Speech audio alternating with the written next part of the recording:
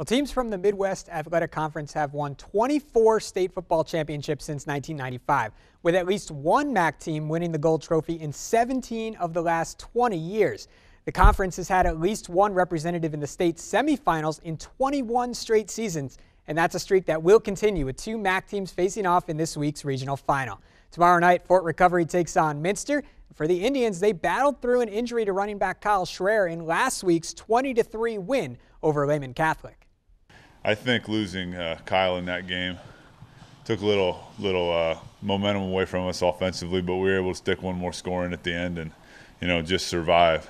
Know, a lot of people said we'd uh, bend and we didn't break, and I'd say that's pretty true facts. We we let up some big plays, but none that would kill us, and we just fought. It was a very physical game and find a way to win. Minster is coming off a win over Riverside in which the Cats scored 21 unanswered points and playing into week 13 again has raised the energy level at practice. They're ready to go. We got some senior leadership that's gonna that's gonna make sure our team's ready to go. Don't really change much. We got 19 seniors that, that want to make sure this is right. So, um, no, just just they just gotta attack it and, and have great days. Yeah, it's just intense. Everyone's ready for this, and we're all pumped up for it. Tomorrow night in Sidney, it's a rematch from Week 7 when Minster beat Fort Recovery 14-12. Both sides are expecting a battle in round two. It's going to be a really physical game. I, I, think I've been saying all week, you know, in these kind of things that it's going to be a, an extension of our last game. I think.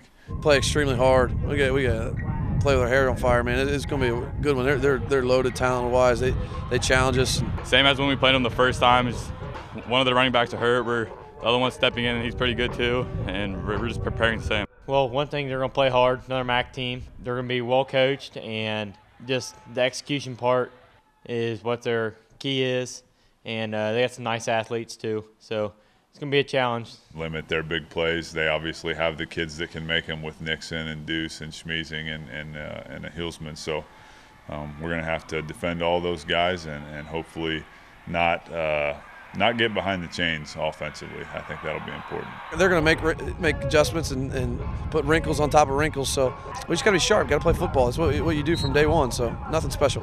No matter the outcome, these programs have a lot to be proud of, with Minster trying to get back to state for the second straight year and Fort Recovery playing in its first ever regional final. We put a lot of hard work in over all four years we've been here, and it's nice to see something paying off. The, the community support's been amazing. One of our captains, Adam Lefevre, mentioned to me the other day, he, he stopped after practice. He says, I don't ever want to take this for granted because he knows, you know, the work that it took to get there. Their work ethic has been rewarded. You know, they, have they've, they've practiced and, and, lifted and shown up like a good football program's supposed to do, and those get you get rewarded for that, that type of work. So I'm, I'm, I'm proud of these guys, these 19 seniors, and everybody following them, just trying to get the culture right. With the Indians and Wildcats, I'm Matt Finkel for the Sports Report.